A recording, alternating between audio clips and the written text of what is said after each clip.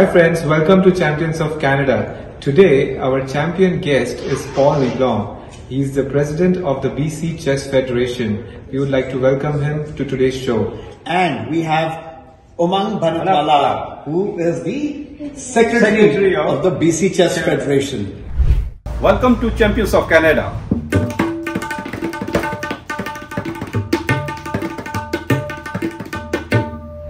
Hi, Paul.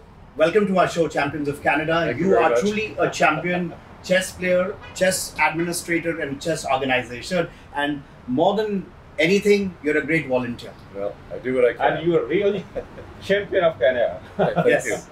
So, how did the journey begin? I mean, where did you do your education, college? Where were your mom and dad from? Oh well, I, I grew up in Sturgeon Falls, Ontario, a very small town in northern Ontario. Okay. Six thousand people. I went to high school there. My parents, uh, one, my father is French Canadian, my mother is English Canadian, so I have both cultures in me. Oh, fantastic. And uh, my family's been in Canada for 400 years. okay. Uh, I grew up on a farm. Yeah. And uh, learned how to do take care of uh, farm animals and do Yes. chores. So Mm. it was a very healthy upbringing. Mm. I went to high school in uh, Sturgeon Falls, Ontario. Yeah. And then I went to the University of Waterloo after that. Uh, all of this time from high school to university, I took up the game of chess, which interested me very much. Yeah, but before that, you're also a commander in Yeah. the Royal Navy, Oh yes, the yes. Canadian Royal Navy. Yes, when I finished university, I joined the, uh, the Canadian Navy. Okay. and uh, I did 35 years with the Navy. I started as the most junior officer on board the ship and worked Okay. my way up to ship's captain. Yeah. And I was captain of three It's different like a pawn to the king and the Uh, queen. yes, I was yeah, promoted to, to captain, Captain. eventually. Excellent. So, how your uh, interest was developed uh, towards the chess? actually? Well, it started with a, uh, one of our neighbors received a chess set for Christmas, Hmm. and neither one of us knew how to play, but it came with a book of instructions, and so uh, the neighbor invited me over to read the book and try and figure out how Yeah. to play, and so we we. We played a very rudimentary game of chess, and it, it really caught my interest because there's so much variety in the game. And it, how old was at the time? He's saying, I how old were you at the that time? Uh, I was about 14, I think, yeah, early high school years. Yeah, and then uh, and then when when I started high school, a couple of my friends already knew how to play, so uh, So that's how it basically the game that began. game, yeah, The yeah. game had begun. So Yeah. that's it. So, um, if we have to um, say, um, as a subtext, if we have to see uh, wh- which is the highest level of chess in Canada, Mhm. the administrative body, and how does it come Mhm. down, or does it go from down to up or up to down? Oh, uh, you mean aside from playing chess, now you're talking Yes. about organization. Yes, the organizations. Yes, well, we have the Chess Federation of Canada, which uh, has a small office in Ontario, Okay. and they administer the rating system, Okay. uh, the website, and they're our connection to the World Chess Federation. Okay. And what about the uh, provinces? How do they administer the game of chess? Do, are they guided by the CFC, the Chess Yes, Federation of Canada, or are. are they independent? Well, we're independent as far as um, uh, you know, running chess in our province, but there, there are a lot of pan Canadian rules that we all follow. So, uh, and also the Canadian championships, we all feed into the Canadian championships the women's, the, the men's champion, the junior champion, the senior champion. So, this is all coordinated by the Chess Federation of Canada. How do you compare between you know uh, provi- uh, BC and the other uh, provinces? Uh, you know, regarding The this? standard of the Yeah, game, or standard, the levels of On- players. Ontario is the powerhouse. Oh. Oh yes, if, if you if you took, made a list of the top hundred players in Canada, about seventy of them would live in Ontario. oh 71. It's 70, very, almost very, 70. very strong. And Quebec also would be number two. Ha- has there ever been a grandmaster from Canada on the world level, the world stage? Yes, oh yes, we've Yes, had several. we've had yes, several. we've had we've had uh, I would say three in our history who were contenders Okay. for the world championship. Didn't, Hmm. didn't quite get there, but Okay. Very three- close three very time. strong, and Well, and probably another dozen grandmasters uh, over the years. Yeah. But we never had, Canada has never had a world champion. No. No. Not uh, not um, adults. We've had some juniors, some, some of the kids world champions. We had uh, a young fellow from Victoria who won the world under ten champion. Oh, world under 10. Yeah, and we also have the, the world junior champion. Currently, is from Quebec. how, how, do, how do you feel that interest in chess? You know, uh, toward the schools and then The uh, community. people, the community, and then How does the community help? Uh, Yeah. Does the community help in chess? or Or the supports or schools? The, how, what's the support system that chess per se receives from the community? It's it's a it's been a long journey. I must say that. Um, Fifteen years ago, chess came close to dying out. Okay. Um, there was not much interest, uh, Hmm. not much support from anybody. Hmm. But then um, things started to change, and part of the reason I think is the development of the internet. It's it's a bit counterintuitive that Correct. suddenly you can play chess, Chess- online. Why would you go to a chess club? Yeah, and sit But- offline and But it got Yeah. people interested, and millions of people started playing Correct. chess online. And then, with that experience, they wanted to see what live chess would be like. So they started showing up at tournaments, and the kids got interested. Um, and the, once the kids got interested, the schools started supporting them. We have a Vancouver chess school, for example. It's been uh, graduating hundreds of kids every year. So I, I would say the, the internet was, was a big factor. And we've also had some interesting world champions. Uh, you know, an Indian, a Norwegian, not Yes. the usual Russian champion, and that's generated a lot of interest in you know in the population of those areas of the world. As a matter of fact, India, I think, is right on top of the game with the US, uh, yeah, with think Russia, they and probably have more members than anybody. yes, anybody in the world. As a Yeah. matter of fact. So, what do you think?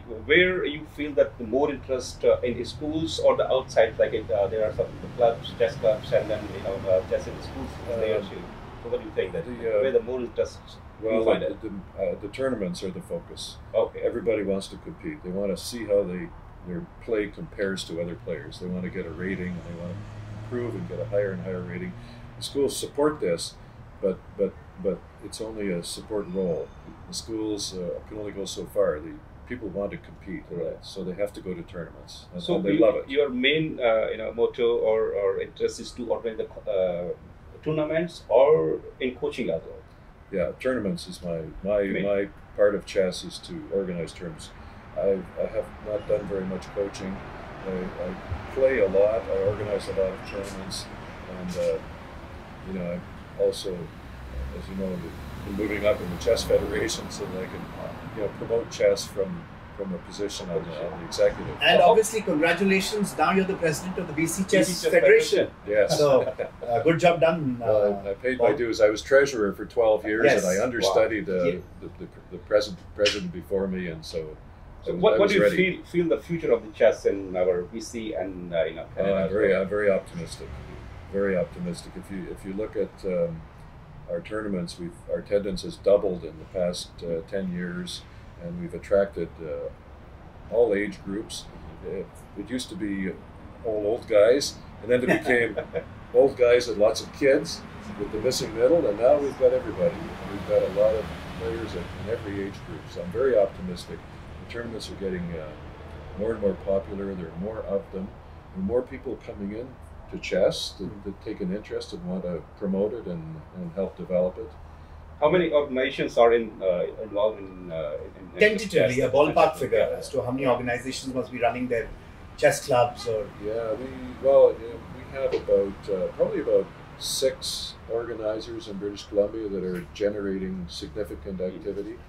Uh, Ten years ago, there was only one. one. Yeah, Yeah, so and it, I'm sure it must be headed by you. it was it was my group. Yeah, that's why I, I guessed. I Yeah. guessed. yeah, we were we were we were running all the tournaments. I guessed yeah. Yeah, we were running all the tournaments from Victoria. We would come over Yeah. from Victoria to the mainland and run the tournaments here, and there only were about five tournaments. Yeah. Now So- there's you can't even count them. There's so many. Do, do we have any any tournaments between the provinces, like inter Yes, Interprovincial yes, tournaments. yes. We, we play uh, Washington once per year. Hmm.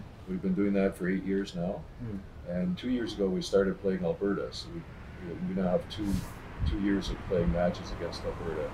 And then within Canada, um, the provinces compete at the junior level. There's Mhm. there's no uh, senior um, uh, chess team competition tournament. Yeah. but but the kids do. They're, they have there's there uh, competition for uh, grade one to twelve. Uh, so we send a team to that every year, and there's competition for each age 8, 10, 12, 14, 16, and 18, and we send players to that. So the, the, the kids love to travel. The parents you know, take them wherever they need to go to play chess. So that the, the, the, the big success area in chess, in chess has been the juniors. Junior. It's, it's been many years now. We have lots of experience, you know, in uh, this uh, field. How much support you are getting from the community or you know the organization? We- he's or getting BC back to the same question. Yeah, yeah. The He's BC, getting I the- mean, that getting any funding Yes. or any Funding. grants How, or how does the chess federation, the BC Chess Federation, get their funds from? From the players. From the players. Yes, It's it's an entry-based one. We, we, sponsorship is very difficult to get For for chess. chess. It, it's just not flashy enough. It's not like sports Baseball. where things are happening fast and you Or have cricket. people watching. Yeah, Uh, it, it's people say it's like watching paint dry if you're watching Yeah. a chess game. So it doesn't appeal to the non-chess playing public, and most of the government organizations don't see uh, you know a need to fund it. We have had some success. We have, the provincial government has given us some money when we've had big tournaments here. We had the Canadian Open in 2012. We got a grant from the provincial government. We had the Canadian Junior Championship in 2009. We got a grant from the BC government. Uh, but generally, it's from the players and, the, and most importantly, the chess parents who really support chess. So if the kids get involved in chess, the chess parents will help. They'll volunteer. They'll help pay for the, rental of the facilities. They'll help pay for the travel costs. So, and that's that's just the way it is. Chess players are, are generous when it comes to chess. They they believe in it. So overall, we can see that there's a bright future for the game of chess. Mm. any day, anytime, which is obviously um, developing in BC at least in a big way. And uh, we foresee that uh, under the able presidentship of uh, Paul LeBlanc, things are going to be improving and getting better. So, last question. Oh. Paul. yeah, he always asks the last question. Any secret that you need to share? yeah. Yeah, any secret that you need to share about the game of chess? How? which, which, which you want to teach to the you know audience that you know this is the best position to play or I'll that, tell you. I'll tell you a couple of things. For Yeah. one thing, everybody believes deep in their heart that they're the next world champion. That's a good. That's, That's what a good. motivates us. Yeah. We motivate. We can Yes. improve, improve, improve, and, Yeah, and eventually become the world champion. Everybody believes Yes. that. and why not? Yeah. Why not? yeah. um, education is democrat, uh, democratized, so chess can be too. So Mm. that's it. Yes. So Amarjeet, I think we can just pick up a king, and, From both. and from both of our sides, this is a king for you, Yes. and you are the all king the of best. chess. Yeah. All the best, uh, and have fun. president, uh, you Thank you. And for thank you very much for coming on our show, and we wish you all the best for your future. Thank Thanks you. for the time. And, Thanks for coming over and thank you for making this effort to help us with making Yes. chess better known to the public. Yes, thank you. Thank you so much. All right.